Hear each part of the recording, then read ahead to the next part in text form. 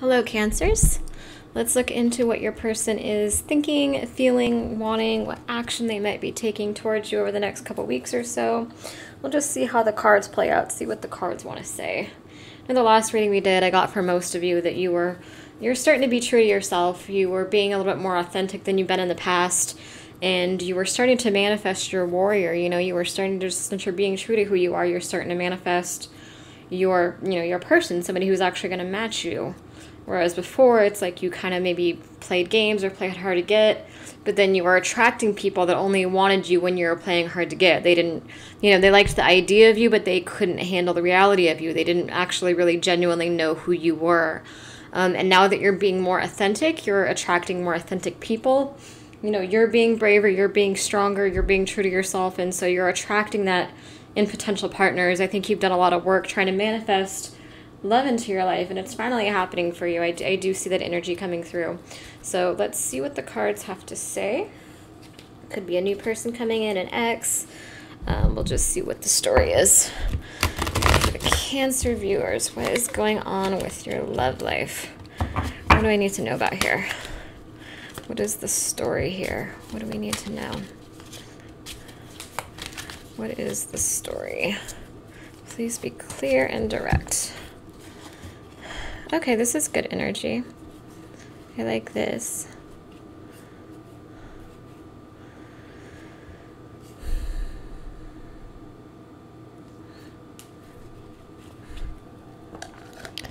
The Fool, Six of Cups reversed, Seven of Cups reversed, King of Pentacles, World, six of wands reversed, the sun forward. So it's kind of like it's kind of the same energy I got before in the last reading that we did. You know, with the six of wands reversed, it's like six of wands upright would be, you know, public recognition, success. Um, it could also be in the negative side of that, though, the need for attention, the need for the need to, to be in the spotlight, the the need to always have the upper hand, the need to just this this excessive focus on appearance and you know power struggle. But with the um, I feel like you've completed a cycle. See, with the six of wands reversed, it's like you've completed that cycle. You're. It doesn't mean that you can't wear makeup or that you can't care about your appearance at all. I'm not saying that, but the energy I get from this reading is somebody who cared too much about those things. It's like somebody who was just kind of faking confidence. Like they were, you guys were like seeking, you wanted to be genuinely confident, but you weren't sure how. And I think that you were just so scared of being vulnerable and letting go and being open. You kind of had this like, meant like almost like a killer be killed mentality. Like you just kind of had this mentality that you have to like be in control of everything. And with the sun, I see you letting go of those control issues. It's like you have this this outward appearance of confidence, but like inside you were hurting, you know, you were upset. You you felt alone, I think, because you weren't being your true self, you know what I mean? You you were out of touch with your soul. You were out of touch with who you really are. But it's it's really beautiful because with the world here, I feel like you just learned something through that. I think that you just went through a really important life process. Um, you're you're going through this transition right now basically where you're coming out of that energy and you're being more genuine and you're you're willing to be vulnerable again. You're willing to be open again. You're willing to be introspective again. You're willing you're, you're you want to get back in touch with your soul. You know i think you're realizing that in the past being in that six of wands energy where it was just all vanity all ego just power struggles it's like you have these fake friends or fake lovers it's like they liked it was just lust, you know, it was just vanity. It's like they like the appearance that you put on, but they didn't actually know who you were. And for a while, it's almost like you you lost yourself so much with these people that you didn't know who you were either. Um, but it's a beautiful process because you learned a lot through that. You learned that those people aren't your real friends. You learned, you know, if you just dated somebody, you learned that that person didn't really understand you and didn't know you. Um, and you're getting in this energy where you're like you just want to be true to yourself above all else. And that energy is what's manifesting true love into your life. You're working on yourself now i feel. And you're you're developing genuine confidence. You're you're really going inward and thinking about what needs to be healed. You know there's it's like there's a difference between walking in the room and like having to compete with everybody and having to act like you're the shit and just um, focusing on appearance. And then there's a difference between that energy and like walking into the room and just having this genuine confidence where it's like you don't need to compete. You just know who you are. You just love yourself. It's like this genuine love. It's like a gentle but very powerful energy but it feels genuine confidence. It's like even though outwardly they might appear similar if you really get in tune with that energy there's there's such an energetic difference between genuine confidence and just like vanity and ego. You know what i mean? Um, and so so yeah you're doing the healing work. You're being introspective. You're you're thinking about what needs to be fixed. You're thinking about what you need to do to be the kind of person you want to be um, and so you're developing this this genuine real confidence. You know you're finally going to have the base for this confidence. So it doesn't matter if you're wearing a shitload of makeup or no makeup at all if you're wearing sweatpants or a dress or whatever it doesn't matter. You're just you're gonna love yourself no matter what. That's the stage that you're getting to. But again you had to go through this kind of process of not being who you are and not being true to yourself to find out who you are. You know what I mean? Like it was like almost experimental. You're like, okay, actually this doesn't feel right for me. This doesn't work for me. This doesn't this energy like I don't feel like myself. I feel alone. And so you're to that point where you're like, you know, you don't want to go back to that. You're you're the sun, you're looking forward. And um yeah, with the fool, it's like you weren't allowing yourself a new start. And Six of Cups reversed, it's like you weren't allowing yourself to be nostalgic, to be emotional and open. Um, maybe like behind the scenes you were, but like you weren't, you had this power struggle with people around you, or you just had this kind of like fake friendship. So it's like you couldn't express those emotions to anyone really. Um, there weren't like a lot of people you felt you could trust. Seven of Cups reversed again, not letting yourself dream, um, not letting yourself like make choices that you know need to be made on a soul level, and uh, it's like you're getting back in touch with this energy where you're like, you know what, I do want these new starts. I do want to allow myself to be nostalgic sometimes. I'm human. It's okay for me to feel. It's okay for me to be vulnerable and open. It's okay for me to be a dreamer. It's okay for me to be all these things. I'm going to be true to myself above all else. And I kind of feel okay, so for some of you, you're letting go of the King of Pentacles that was holding you back and you're completing this cycle. And this he was part of that energy that was kind of like you couldn't be yourself with him or her and you're getting past that. But for a lot of you, I actually think that you have this warrior energy coming in. This is a stable man. This is or woman. Again, don't get caught up on on wording. Could be male male, could be female female, could be male female. That's however it resonates with you. I know I say that a lot, but I want to remind you guys of that again and again, especially for new readers, new viewers coming in, that this could be gay, lesbian relationships, it could be straight relationships. It's just however it plays out. You know what I mean? You could be a male watching this for a female. So just um, you know, the roles are reversed in that case. So just take the energy how it resonates.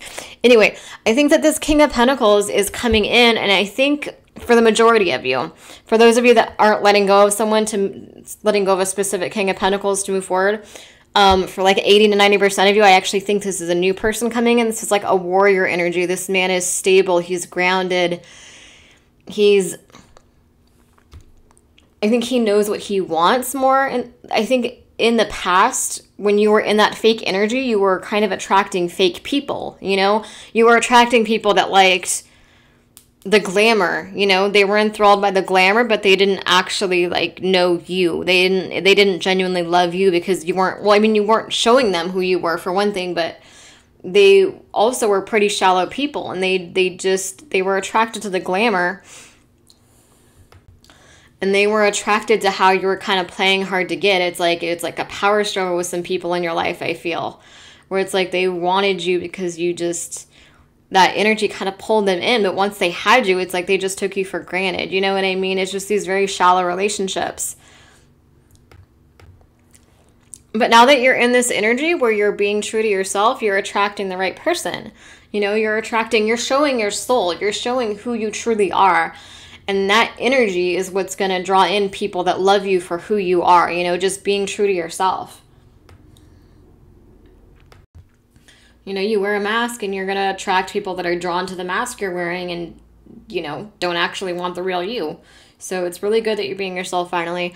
Um, yeah, I think this King of Pentacles is coming and I think he might actually be helping you with this process. I think that you I think that he kind of maybe he's going to see through all that or he's seen through all that. This could be someone you just met or somebody like an ex coming back around. Um, however, the energy plays out, it's somebody who knows you. It's like one of the few people that just really knows you. Like you can't put on a front with them. You know, this person is stable, grounded, loyal. This person is more balanced. They're not, you know, with other people in the past, it's been like a power struggle, like chaser, chasey games. This person is just kind of more consistent than that. And I think that energy is helping you end that cycle. You're like, you know what? I have something real here. I have somebody who actually I don't feel alone with. I have somebody who wants me. That's, you know, that's helping you get past this energy and be like, you know what? I want to be my true self. I want to show this person who I really am. I don't want to play games with this person. I don't want to pretend with this person. You know, I want to move forward with this person. I want the sunlight. This person is like your sun, your rock there might actually be a lot of male viewers here too, because I'm kind of seeing, because I know I'm getting more and more male viewers, and I'm kind of almost seeing it like, like you're the King of Pentacles and you're more grounded and stable because of this person that's come in, and so you this is like your angel, your rock, your your safe space. You want to move forward with this person. Um, but again, for others of you, again, male, male, female, female, male, female, however it plays out. Um, for others of you, it's just yeah, this warrior coming in and, and he's making you want to move forward and want want better for yourself and for your life. Um, and you're, you're yeah, it's it's good energy. I think you're also you're going to realize if you haven't already that this person isn't going to play games like other people have in the past. I think I talked about that a bit in the last video.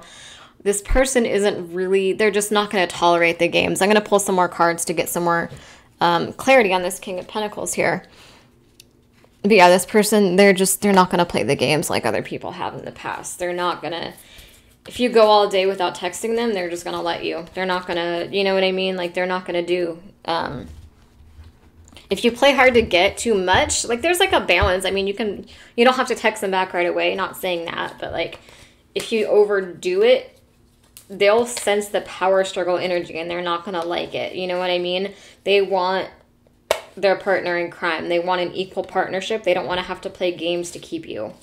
And they don't want you playing games either, you know? They're just, they're going to want something more genuine and stable. And it's going to kind of throw you off because you're, you have, I think that you've, you have this pattern that you're breaking now, this like way of doing relationships, this way of like always trying to stay on top of things, always trying to have the upper hand. And this person is going to come in and just throw all that off. You're going to be like, holy shit, this is like, this could be a twin flame coming in or a life partner actually, because I'm, because this is, this person is going to mark a before and after pro, uh, period in your life, is what I sense. Is this person is just going to be so different.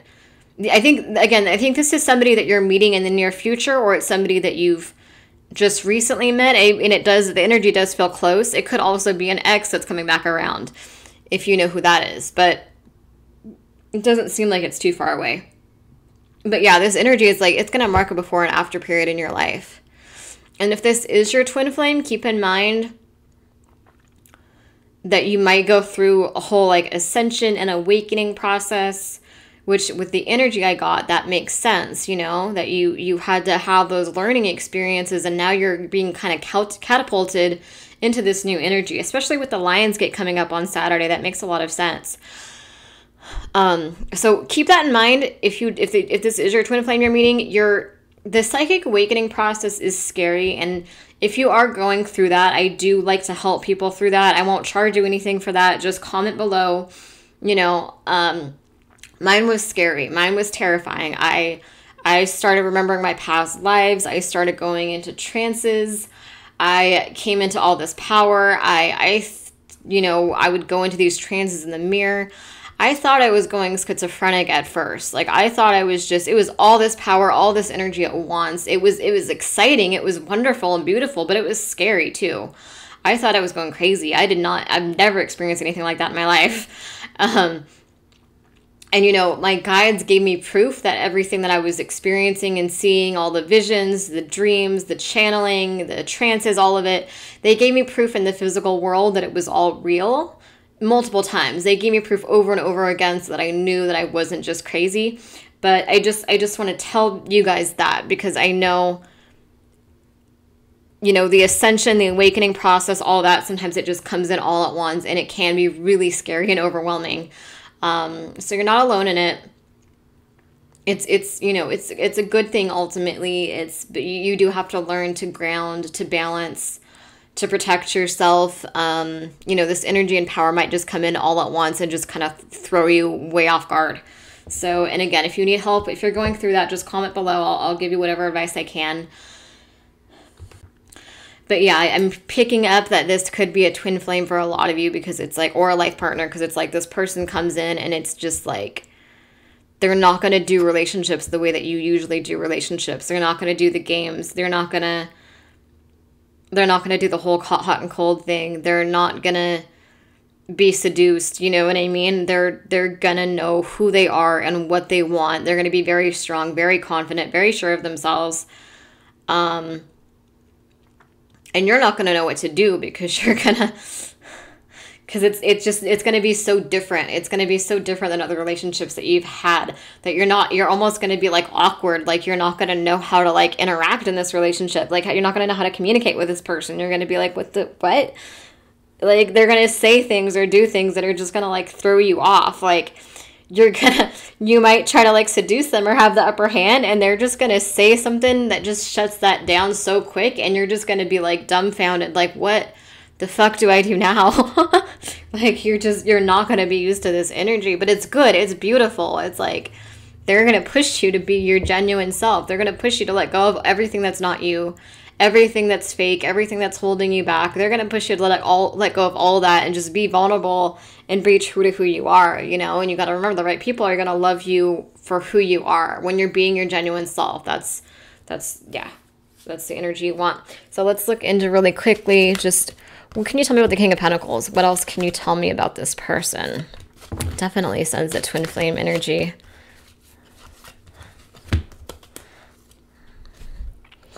obedience, success, movement, High Priestess of Fire. Okay, I get a couple things from the obedience card. For one thing, I, could, I get this could be like an alpha male or alpha female type. Um, because I see, okay, obedience, I almost see like, I'm getting like a sexual energy from the obedience card. Like, if you're like submissive, I kind of feel like this person's going to take control in bed more than people have in the past. Like you're gonna, I feel this kind of sexual energy with the obedience card. Not in a bad way. Like I don't see them being a, like I know sometimes that comes off wrong. Like what do you mean I'm gonna be obedient to this person? But it's like obedience in the sense that they're just like gonna take charge in the bedroom. It's like a sub dom kind of relationship. Um, I also, for those of you that are not submissive, um, there's another meaning to this card, and you, both meanings could apply to you, or one or the other. But um, for the other meaning, I feel like feel like it's saying your success lies in finding a balance. Like you're gonna have to realize you can't do things the way that you've done them in the past with other people. This is a whole different kind of relationship, and that what you've done in the past is not gonna work. So you're gonna kind of need to like find a balance. Um, you know, figuring out who you are, who you want to be. Um, just just finding a really good healthy balance i think is is where that success lies i think in the past you've probably because with how guarded you were i think you've probably been hurt a lot which everyone has but i know you know it's normal but i kind of feel like maybe in the past you were like kind of jumped from one one extreme to another like you're just super vulnerable and clingy with people or you were like cold and distant and just kind of like aloof and just had this power struggle and always wanted to have the upper hand you know what i mean? Um so it's like finding that balance like being vulnerable but taking things slow and getting to know someone better um and kind of keeping your guard up a little bit while you're still getting to know somebody like feeling somebody out going on dates getting to know each other but not like completely shutting them out or like being super vulnerable and clingy right away. You know what I mean? Like there's a middle ground. There's a balance between being logical and being a little reserved, just a tiny bit reserved until you really completely know somebody and um you know, being emotional and vulnerable. So it's like you're going to have to kind of rethink and redo how you do relationships. And you're going to have to come to like a better middle ground so that you can have healthier relationships. And that's going to be more successful than what you've done in the past, I feel.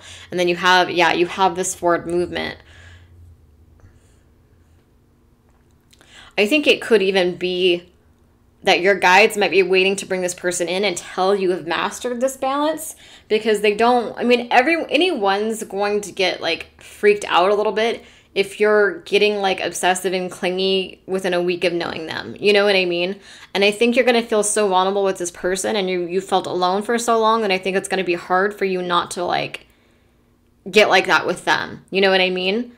Um but then it's like you get hurt and if they or if they're not reciprocating right away or they're they're taking things slower i think you like misunderstand people sometimes and like overanalyze and you're like kind of you get triggered easily i think. Um and so it's like you, they don't want you to go to that extreme of like either clinging on to this person before you've really fully gotten to know them or being distant and guarded with them and playing games you know what i mean? Because this person is going to want a stable healthy relationship. They're going to want open communication. They're going to want to take things at a regular pace, not too slow, and not too fast. They're going to want to really get to know you, to take you on dates. And and so they're they're not going to tolerate a codependent energy and they're also not going to tolerate a cold, guarded, distant energy. They're not going to tolerate the games. They're going to again, they're going to be so different than what you're used to and they're going to want more from you. So I almost feel like your guides are kind of working with you right now.